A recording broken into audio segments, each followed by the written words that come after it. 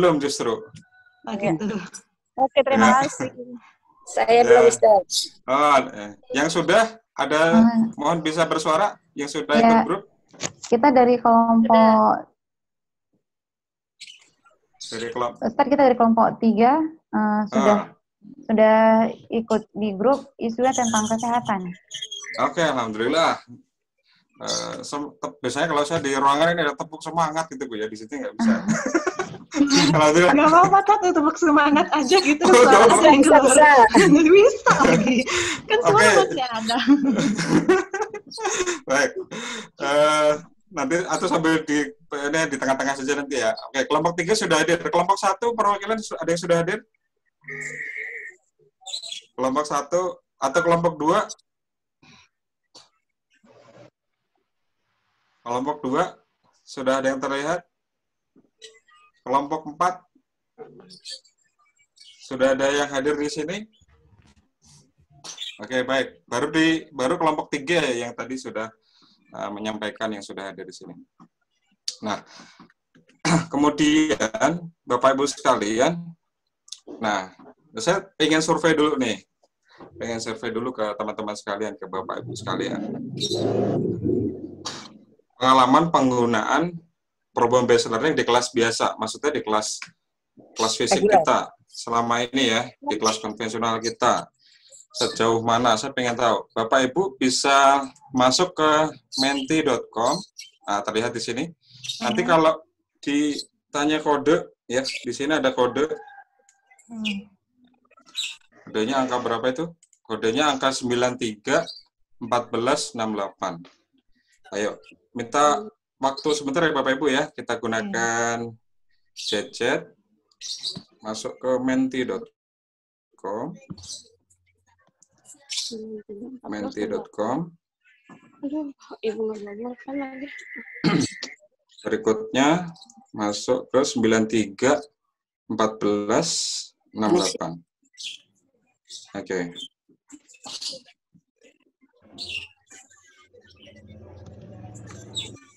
oke sudah berhasil masuk Bapak Ibu Gimana sih?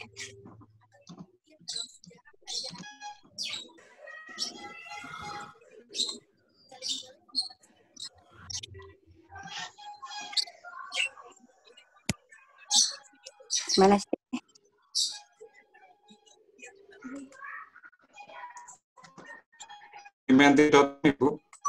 Oke. nah di menti.com pengalaman menggunakan problem based learning di kelas biasa lima bulan terakhir Mana sih? Lima bulan terakhir.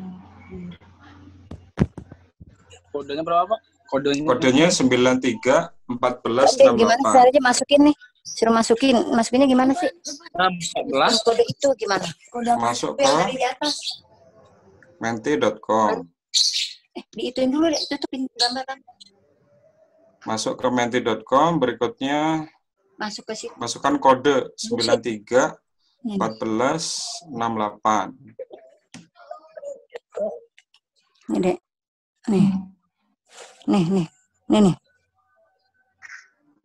Silahkan diklik di situ nah Ah, ada yang diklik. sudah masuk satu belum pernah Ini di klinik.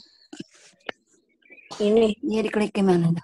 oke nanti di situ ada pilihan bu ada belum pernah ada kadang-kadang ini kita batasi kadang-kadang tuh satu sampai Dua kali Ada nggak? Bisa nih. Oke, tiga orang sudah klik, alhamdulillah.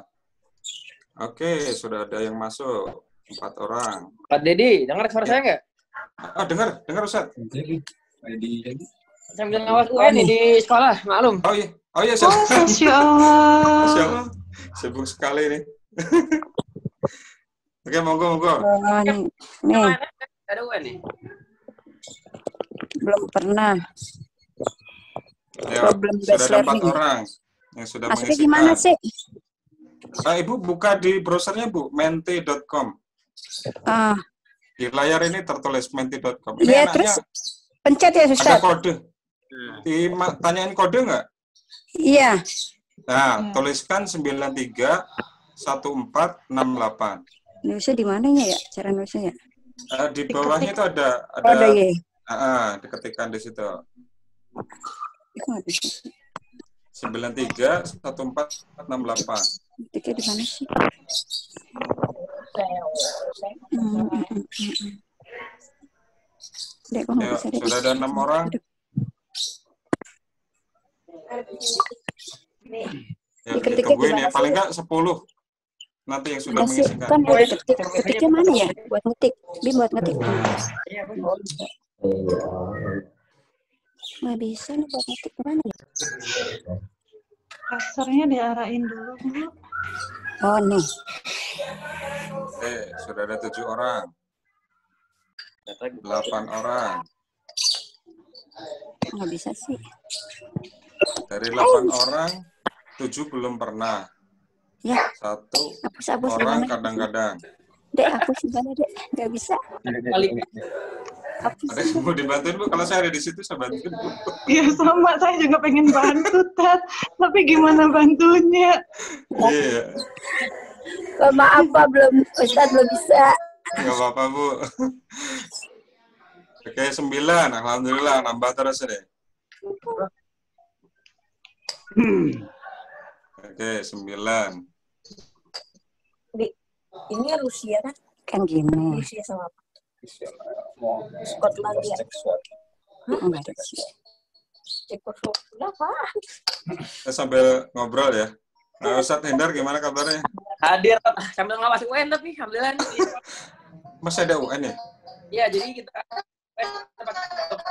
Mana tadi? Oh, US maksudnya. Udah, Ditutup nggak nih? Oh, ditutup. Pak, Sudah. Kak, Ya, siap gini nulisnya gimana sih, Kak? Udah nggak ditutup.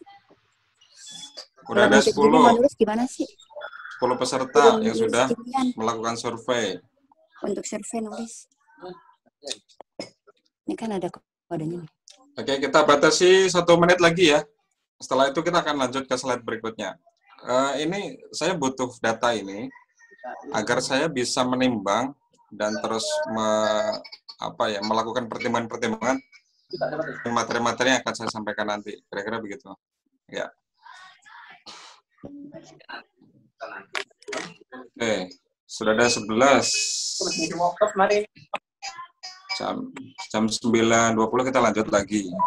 Oke, baik satu menit lagi. Ibu sekolah dulu ya. Total peserta ada berapa ya? Bentar. Oke.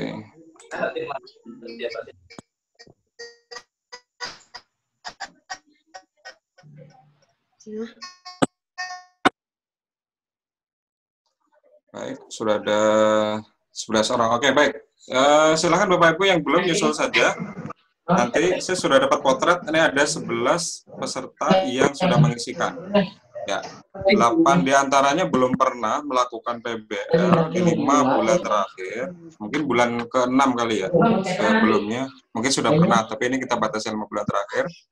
Terus berikutnya, tiga peserta sudah pernah melakukan PBL, ya, eh, satu sampai dua kali pada kelas yang berbeda. Nah, kira-kira begitu. Baik, kita lanjutkan. Nah, dengan adanya data ini Bapak Ibu sekalian, berarti ini kita ya eh, di orientasi kurikulum 2013 yang pada masa sebelumnya eh, pada masa Pak Nuh ya itu kita sudah didorong untuk implementasi program based learning itu dan dikuatkan juga pada zamannya Pak Menteri Pak Anies ya waktu itu ya di 2013 ya ada pendekatan-pendekatan yang memang ya dalam rangka untuk lebih melejitkan potensi anak-anak kita. Nah, beberapa pendekatan yang dimaksud adalah salah satunya ini problem based learning, terus berikutnya ada project based learning, ada discovery learning, ada inquiry. Ini adalah pendekatan-pendekatan yang dalam rangka mempersiapkan anak-anak kita menjadi siswa di abad 21 ya. Karena bagaimanapun Bapak Ibu sekalian, siswa-siswa yang berada di tengah-tengah kita yang diamalkan pada kita saat ini, mereka akan ketemu di masanya yang berbeda dengan kita. Mereka akan ketemu dengan tantangan yang berbeda, ketemu dengan apa namanya problem yang tentu saja berbeda, sehingga menyiapkan mereka untuk di masa depannya kelak, ya itu dimulai dari saat ini tidak bisa tidak. Begitu ya, terima kasih. Nah, uh, di pembelajaran kita hari ini terkait dengan problem based learning menggunakan kelas ya, online kelas ya. Berarti ada dua hal yang nanti kita akan sama-sama pelajari. Problem based learning-nya sendiri satu itu Coba satu hal ya. Emma ini saya lagi pakai Nanti- ke sini. Telepon Emma aja kali nggak? Pak Firman boleh ah, tapi diatur bentar, boleh saya telepon bentar, agar kita lebih fokus. Nggak nggak udah saya bisa keluarin. Emma apa sandinya ya? Pak Firman ada di tempat? Oke, baik, baik, baik. Karena saya bukan host di sini. Nah, eh, jadi ada dua hal yang akan kita sama-sama pelajari hari ini, yaitu tentang PPL-nya sendiri. Ya, itu level satunya. Dan yang keduanya adalah menggunakan PBL di eh, kelas online. Gitu ya, Bapak Ibu sekalian ya. Nah, Ustadz maaf instruksi ya Ustadz. iya, Eh, di mute semua aja Ustadz. Jadi kita fokus dengerin Ustadz, nggak dengerin yang suara yang lain-lain. Iya saya bukan hostnya, bukan. Coba sebentar ya, sebentar ya. Atau kita inisiatif sendiri-sendiri aja mute. Oke, silakan. Eh, baik. Teman-teman minta tolong di mute dulu ya, eh, masing-masing sendiri-sendiri. Oke, masih ada yang Pak Firman masih ada di ruangan ini ya untuk bantu kita sebagai moderator ya. Karena saya bukan host, hostnya cuma satu. Oke, baik sudah mulai senyap sekarang. Saya screen lagi ya. Oke, saya share screen lagi. Nah, Iya, ini off nih. Baik. Saya lanjutkan lagi, Bapak Ibu. Nah, em, kita hari ini akan menyelesaikan tiga poin ini. Yang pertama adalah peserta harapannya mampu memahami kelebihan PPL, baik secara kelas fisik atau online. Berikutnya yang kedua, peserta mengetahui tools online yang dapat digunakan untuk PPL online. Yang ketiga adalah peserta mampu mempraktekkan langkah-langkah PPL online. Gitu ya. Jadi ada tiga hal ini Bapak Ibu yang sama-sama akan kita pelajari saat ini. Nah ini sintaksnya. Sintaks itu adalah tahapan dalam mengelola PBL. Ya. Eh, sintaks ini sendiri kemarin sudah kita eh, lakukan ya sejak hari Jumat ya untuk teman-teman yang sudah join di grup ya. Eh, yang pertama, oke, yang pertama adalah oke kita mengorganisasi peserta pada kelompok-kelompok yang akan memecahkan masalah bersama. Ya, ini yang kemarin sudah kita lakukan di via apa WA group, ya, sehingga teman-teman kemarin sudah dibagi menjadi empat kelompok, Oke. empat kelompok. Eh, isu besar, eh, topik besar yang kita selesai, yang akan kita selesaikan adalah tentang bagaimana kesiapsiagaan kita menghadapi eh, COVID-19 Corona. Ya. Berikutnya yang kedua, orientasi peserta pada masalah yang akan diselesaikan, gitu ya. Eh, jadi kita sediakan kemarin ada lima isu, ya. Nanti di slide berikutnya saya sampaikan juga untuk teman-teman yang belum join di grup ya, agar eh, sama persepsinya isunya seperti apa sih begitu.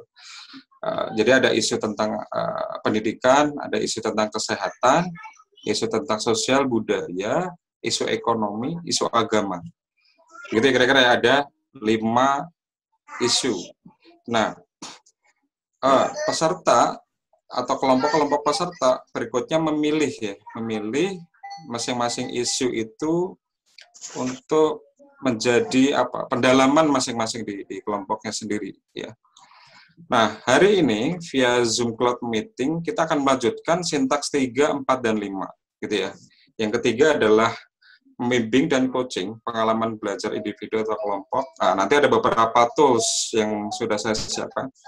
Ya, uh, di dalam poin ketiga ini kita nanti akan beberapa ada tools yang sudah kita saya sudah siapkan di sini ada Padlet. Terus berikutnya ada Google Slides. Ya, dua ya, sehingga lebih nyaman sebenarnya kalau boleh saran Bapak Ibu sekalian kita mengikuti materi ini menggunakan laptop karena uh, ketika kita nanti sudah masuk kepada tools-tools yang tadi saya sebutkan itu ada beberapa hal-hal yang harus diklik segala macam. Apakah bisa menggunakan handphone? Bisa sih sebenarnya Bapak Ibu. Cuman biasanya kalau handphone itu kan layarnya lebih kecil ya sehingga geser kanan geser kirinya akan lebih uh, sering barangkali. Uh, Oke, okay, jadi lebih prefer menggunakan laptop untuk pembelajaran kita. Adapun uh, HP saya juga tetap akan pakai, cuman uh, sifatnya sebagai tambahan, secondary, gitu kira-kira. Oke, saya lanjutkan lagi ya. Setelah sintaks yang ketiga, yang keempat ini adalah penyiapan hasil diskusi kelompok. Jadi peserta nanti uh, mengkonstruksi ulang apa-apa yang sudah didiskusikan dan didapatkan di kelompoknya. Berikutnya dipresentasikan ya ketika sudah dibuat slide-nya dipresentasikan dan kemudian didiskusikan. Kemudian adalah evaluasi proses dan hasil yang sudah dihasilkan bersama-sama. Ini mengevaluasi proses PBL-nya sendiri atau proses pemecahan masalahnya. Jadi ada dua pendekatan. Nah, 3, 4, 5 yang ini akan kita selesaikan via Zoom Cloud Meeting. Kita kira-kira ya Bapak Ibu ya. Oke. Okay. Bapak Ibu, uh, nanti agar kita lebih dinamis, saya sebenarnya santai saja ketika Bapak Ibu nanti akan ada pertanyaan sebelum saya masuk slide berikutnya gitu ya, agar kita lebih fleksibel saja, sehingga tidak perlu nunggu sampai uh, di sesi akhir ya. Oke, silakan saja kalau ada pertanyaan-pertanyaan.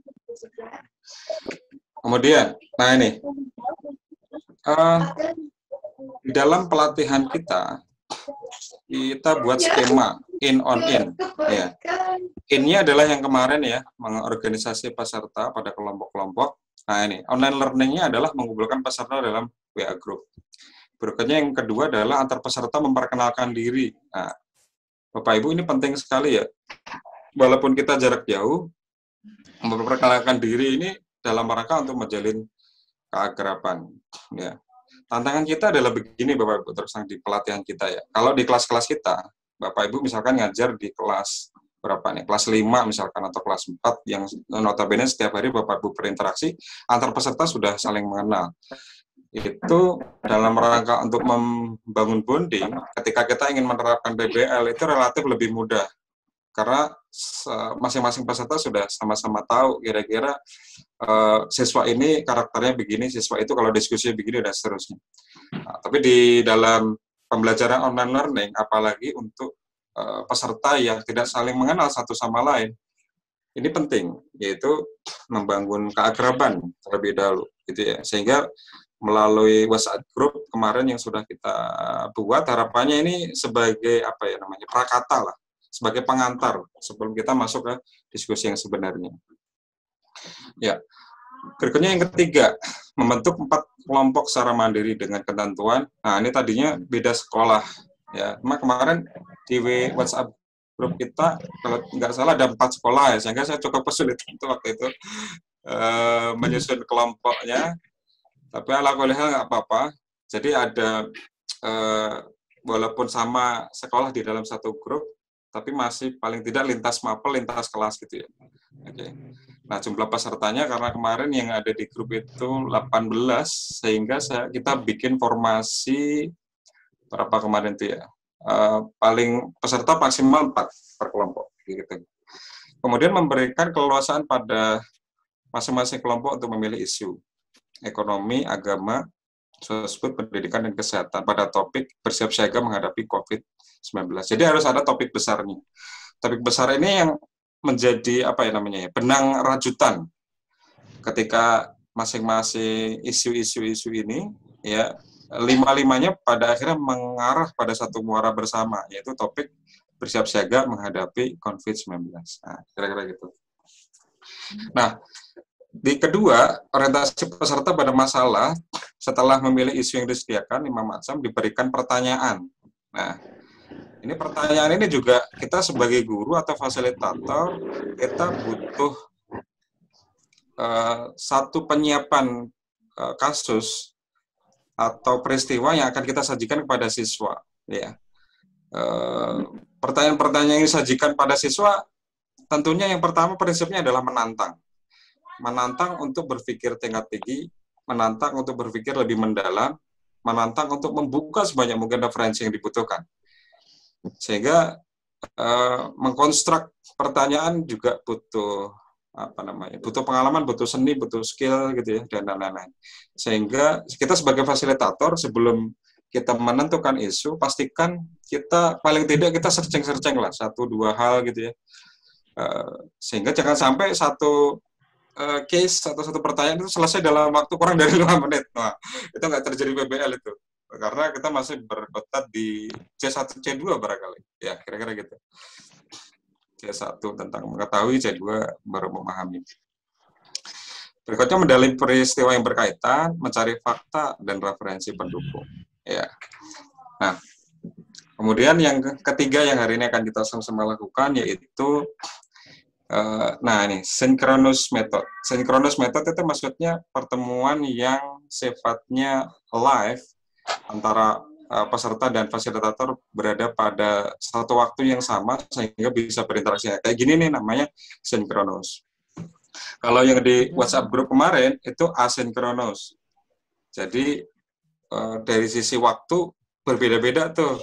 Ketika kita posting di WhatsApp grup jam 10, bisa jadi peserta baru respon menanggapi tidak di jam 10, bisa jadi jam 11, jam 12 gitu kan. Atau ada yang belanja dulu, ada yang masak dulu, nah ibu-ibu nih. Sehingga uh, iya, interaksinya biasanya kita harus uh, menyiapkan waktu yang cukup uh, leluasa kalau di pendekatan asinkronus gitu ya. Nah, baik lagi di sini, nah menggunakan Zoom ini sinkronus, sehingga kalau di kelas itu namanya tatap muka, kalau jarak jarak jauh begini namanya tatap maya, gitu ya. Nah, untuk membangun bonding lebih kuat lagi. Sehingga di kelas-kelas online seperti ini yang Bapak Ibu uh, sudah selenggarakan dari pertengahan Maret yang lalu, uh, sebenarnya pertemuan tatap maya begini nih, sinkronus begini nih, uh, bukan satu-satunya syarat di dalam kelas online learning kita karena uh, itu bisa digunakan untuk uh, apersepsi pengantar materi ya di awal ya di awal. Dan di akhir untuk membangun uh, kesimpulan bersama mengkonstruksi uh, secara kolektif gitu ya pada semua peserta. Sehingga di awal dan di akhir untuk pendekatan uh, sinkronus pendekatan tatap muka ini itu menurut hemat saya penting ya di awal dan di akhir. Di tengah-tengah apa? Nah, di tengah-tengah kita menyiapkan diri untuk asinkronus. Teman-teman yang sudah uh, familiar menggunakan learning management system itu bisa dioptimalkan di situ. Ada yang teman-teman sudah menggunakan Google Classroom, ada teman-teman yang sudah menggunakan Edmodo ya. Terus berikutnya ada Moodle ya barangkali kemarin ada psikologi gitu kan Ya, itu silahkan bisa dipilih tentunya yang eh, teman-teman uh, bisa menguasai di tools-tools itu. Jangan sampai kita sebagai guru nih, oh anak-anak kita pakai Google Classroom, tapi uh, ketika kita belum menguasai, ya maka uh, pembelajarannya menjadi tidak interaktif atau tidak efektif nantinya. Uh, bagaimana dengan anak-anak? Apakah mereka uh, apa namanya menguasai atau harus menguasai uh, tools LMS itu? kalau anak-anak ya siswa atau mahasiswa ya kalau dengan era saat ini sebenarnya mereka pembelajaran sangat cepat bu apalagi ya berhubungan dengan teknologi begitu ya sehingga kalau kita memperkenalkan uh, eh, LMS Google Classroom surat gitu kan anak-anak ya secara umum ya mereka akan lebih cepat menguasai daripada kita oke okay. terus yang kedua kita akan menggunakan Google Sites untuk monitoring progres antar kelompok. Karena ini ada empat kelompok ya, ya kalau dalam pelajaran kita empat kelompok. Oke, okay. nah empat kelompok itu kita butuh monitoring secara keseluruhan uh, seperti apa progres yang sudah dilakukan. Jangan sampai tidak termonitor, maka kita nggak tahu mereka melakukan sesuai dengan harapan kita atau tidak. Terus menggunakan berikutnya nih, Padlet. Ini uh, tools-tools yang saya kenalkan ini sebenarnya uh, sifatnya pilihan-pilihan ya Bapak Ibu. Saya meyakini Bapak Ibu mungkin sudah nyobain nih berbagai macam tools, uh, alat-alat yang bisa dioptimalkan untuk mendukung pembelajaran kita. Masuk nih. Ya. Ada Slido biasanya. Tadi yang barusan saya survei itu menggunakan Mentimeter gitu ya. Uh, dan beberapa alat-alat dalam rangka untuk memantik atau men-trigger interaksi dengan peserta. Nah, Padlet ini ada kelebihan yang bisa dioptimalkan. Yang pertama adalah dia bisa untuk mengumpulkan URL, artikel, YouTube, dan referensi yang mendukung isu kelompok. Kemudian mendiskusikan untuk menjawab pertanyaan. Jadi di sini ada fitur untuk diskusi lewat uh, room nanti chatting di situ, uh, memberikan komentar, memberikan catatan dan seterusnya. Oke, tahap yang keempat di Sintak PBL ini ada ya tentunya penyiapan hasil diskusi kelompok, mempresentasikan dan mendiskusikan. Ini menggunakan Google Slide. Oh ya, Bapak Ibu sekarang yang sudah tergabung di grup kita semalam ya uh, sudah saya kirimkan email. Jadi karena ada empat kelompok, masing-masing uh, kelompok ini sudah kita siapkan uh, slide ya, slide yang uh, kalau di PowerPoint seperti ini kan PPT-nya offline ya. Nah, itu kalau Google Slide itu teman-teman bisa kolaborasi di situ, tinggal dibuka saja emailnya. Nah, nanti ada semacam invitation to edit gitu ya diklik saja teman-teman akan masuk kepada satu halaman baru menggunakan uh, emailnya yang sudah diberikan ya. Karena Google Slide ini adalah platformnya dari Google, tentu saja uh, menu-menu dan apa fitur-fiturnya untuk pengguna Google Mail begitu sehingga di banyak kesempatan saya uh, ketika meminta email uh, amannya menggunakan Google Mail. Walaupun begitu ada juga teman-teman yang masih menggunakan Yahoo tapi sudah diintegrasikan dengan Eh, fitur-fitur dari Google juga is okay, nggak ada masalah. Yang penting bisa dipakai. Itu ya.